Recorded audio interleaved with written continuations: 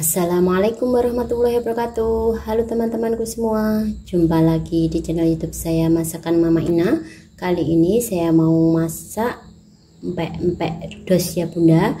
Empek-empek tanpa ikan ini nanti hasilnya itu lembut mantul banget pokoknya. Nggak keras nggak alot juga enak banget. Di sini udah saya siapkan bahan-bahan untuk empek-empeknya terlebih dahulu. Nanti menyusul kuah cukonya ya. Nah di sini ada tepung kanji 300 gram tepung terigu 150 gram. Jadi perbandingannya satu setengah ya bunda lalu untuk bumbunya ini ada 7 siung bawang putih 1 sendok teh garam nanti saya menggunakan setengah bungkus kaldu bubuk dan lada bubuk seperempat sendok teh 2 butir telur dan ini air 300 ml Nah, di sini langkah pertama saya akan haluskan terlebih dahulu untuk bawang putihnya. Ini cukup saya ulek aja ya bawang putihnya. Kita haluskan menggunakan pengulakan aja seperti ini. Oh ya bunda sambil nonton pastinya jangan lupa like dan subscribe dan aktifkan tombol loncengnya biar nggak ketinggalan video-video baru saya karena di sini tiap harinya saya akan upload satu video ya nah ini udah halus ya bawang putihnya saya sisihkan dahulu. Selanjutnya di sini saya siapkan panci atau pan. Saya akan masukkan air 300 ml airnya serta 150 gram tepungnya. Saya tambahkan lada bubuknya sekitar seperempat sendok teh lalu ini kaldu bubuknya saya masukkan setengah bungkus terlebih dahulu. Selanjutnya bawang putih yang sudah kita haluskan bersamaan garam kita masukkan cukup. Selanjutnya saya akan aduk-aduk. Kita aduk-aduk dulu sampai si tepungnya ini larut terlebih dahulu ya jangan dipanaskan. Kalau dipanaskan langsung nanti teksturnya itu akan menggumpal-gumpal tengahnya mentah ya. Jadi kita larutkan dulu tepungnya.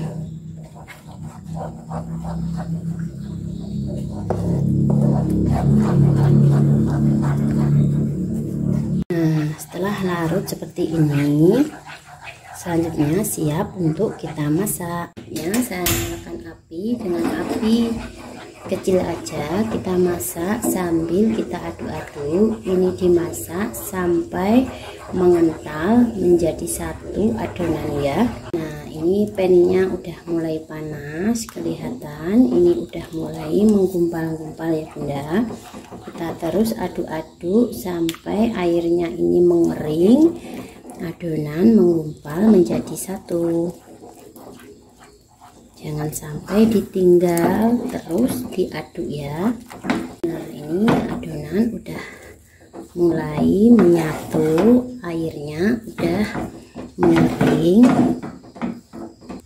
nah udah cukup seperti ini ya bunda adonannya selanjutnya saya padamkan api dan adonan saya pindahkan ke tempat lebih lebar untuk mencampur tepung kanjinya ini saya akan pindahkan ke tempat yang lebih lebar.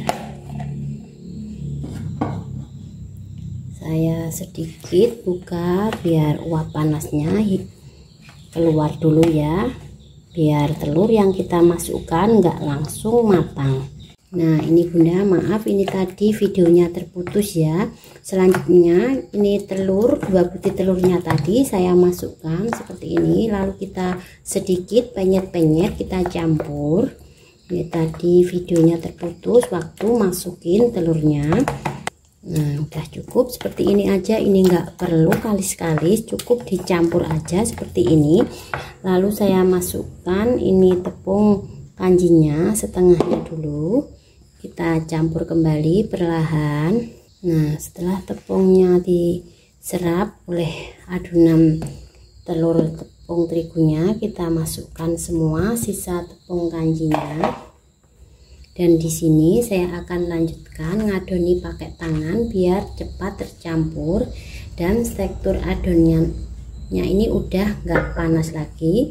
Jadi tangan kita kuat untuk mengoleninya ya pastikan tangan kita udah bersih ya bunda. Kita campur-campur aja seperti ini. Ini nggak perlu over diolen kayak ngoleni roti ya ataupun donat. Cukup kita campur aja. Tepungnya ini menyatu tepung kanjinya menyatu dengan adonan tepung terigu dan telurnya. Nah seperti ini aja ya. Ini sudah cukup tercampur saya akan bersihkan tangan saya setelah ini bisa kita bentuk. Ini saya siapkan wadah dulu. Saya kasih taburan sedikit tepung. Selanjutnya untuk isian kapal selamnya saya hanya menggunakan satu butir telur. Saya bikin sedikit aja. Banyak yang selanjutnya ya bunda ini kita aduk-aduk. Saya tambahkan sedikit garam aja ini biar ada rasa gurihnya. Nah udah cukup ya seperti ini. Saya sisihkan dulu. Lanjut ini tangan saya. Saya baluri dengan sedikit tepung. Lalu saya ambil sedikit adonan. Kita kepalkan nah setelah bulat seperti ini lalu sedikit kita bikin lonjong. Lalu kita kasih lubang di tengahnya. Di sini saya bikin untuk kapal selamnya terlebih dahulu ya.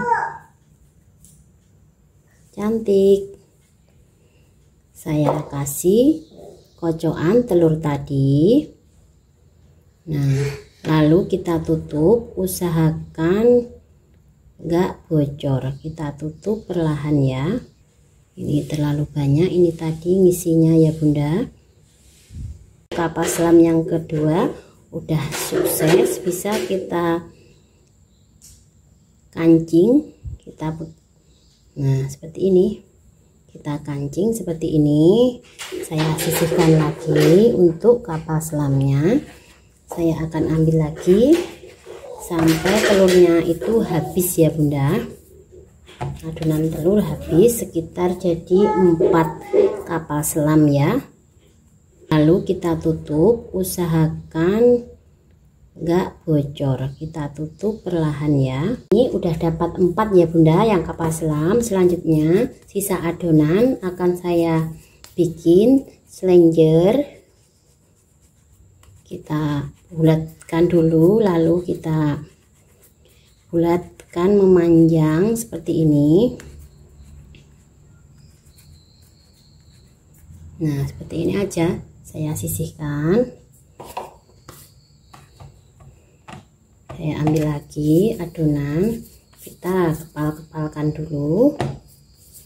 Ini empek-empeknya udah selesai. Saya bentuk semua. Selanjutnya saya akan rebus ini jadi banyak banget ya bunda. 4 kapal selam 8 selenjer nah ini air rebusan udah mendidih ya bunda. Selanjutnya saya tambahkan sekitar 1 sendok makan minyak goreng. Lalu terlebih dahulu yang saya rebus yang kapal selamnya. Saya masukkan kapal selamnya. Ini nanti kalau matang adonan mengapung ya bunda ini semua muat saya masukkan langsung sekalian selenjernya nah ini bunda kelihatan yang saya masukkan duluan kapal selamnya udah mulai ringan udah mulai bergerak-gerak. Karena ini ada isinya telur tetap kita biarkan. Meski udah mendidih dia udah lepas dari pancinya ya udah mulai ringan naik. Tapi tetap kita rebus biar matang sampai dalam ya ini mendidih kembali airnya. Nah ini bisa dilihat sama sekali nggak lengket di dasar ya. Udah kokoh tinggal matangkan aja empek-empeknya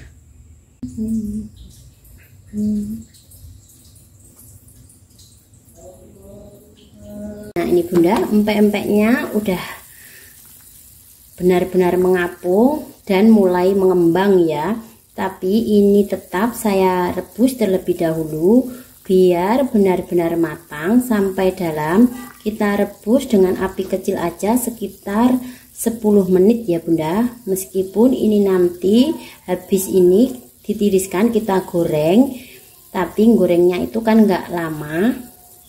Jadi empek-empek rebusnya harus benar-benar jadi empek-empek yang matang ini bunda empek-empeknya udah mengembang lebih besar lagi seperti ini dan benar-benar udah matang. Selanjutnya saya padamkan api dan bisa kita tiriskan ya. Kita tiriskan. Mudah nirisinnya pakai sarang seperti ini.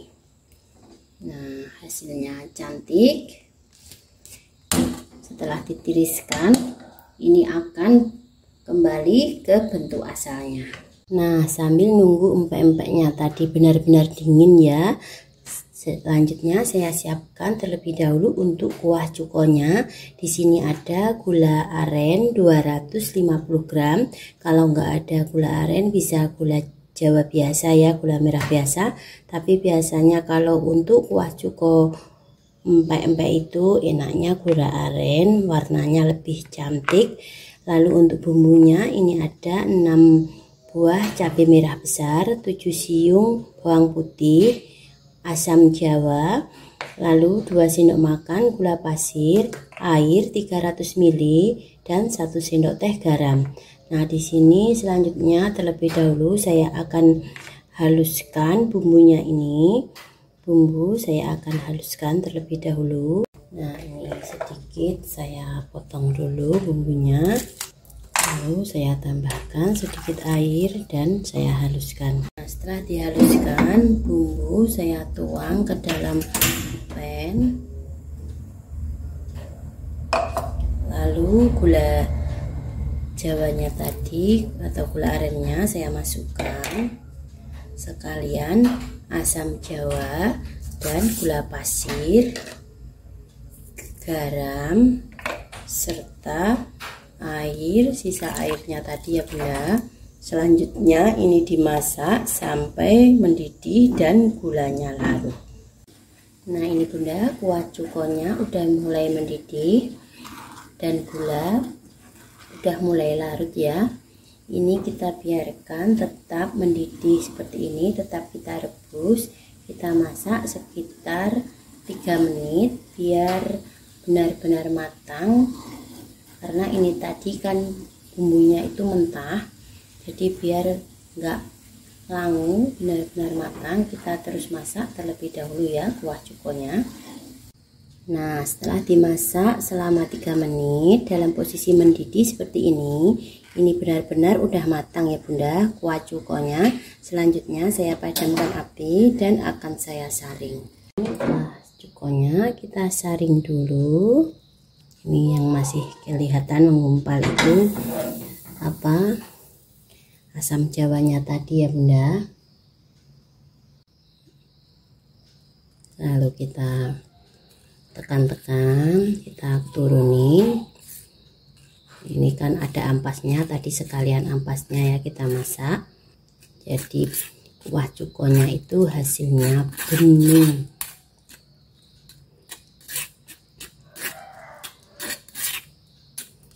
Nah udah cukup seperti ini aja. Saya sisihkan dulu lanjut saya akan bikin goreng empek-empeknya ini minyaknya saya kasih satu sendok teh tepung tapioka. Gunanya ini biar nanti empek-empeknya digoreng nggak meletus ya. Kita tunggu minyaknya panas terlebih dahulu. Nah setelah minyak panas ini terlebih dahulu yang saya goreng yang kapal selam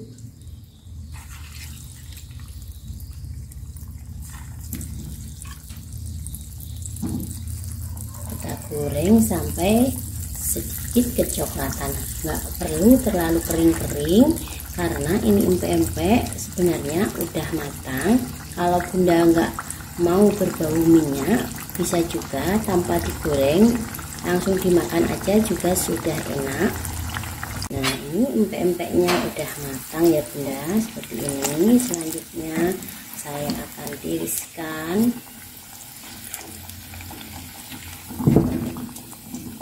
nah ini bunda hasil dari empek-empeknya tadi dan saus cukonya ya serta lalapan segar ketimunnya.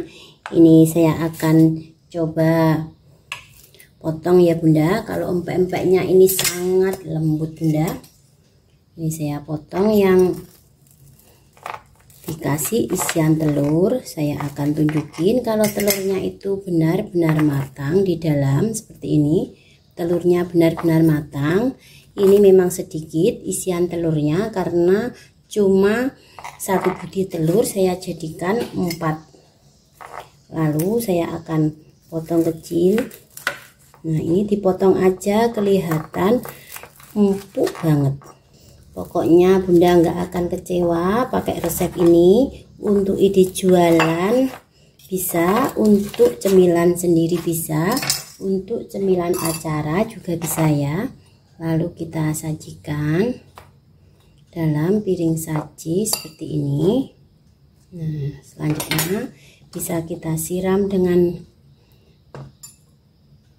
kuah cukonya. Wow kuah cukonya itu bersih coklat bersih seperti ini ya. Hmm ditambah ketimun.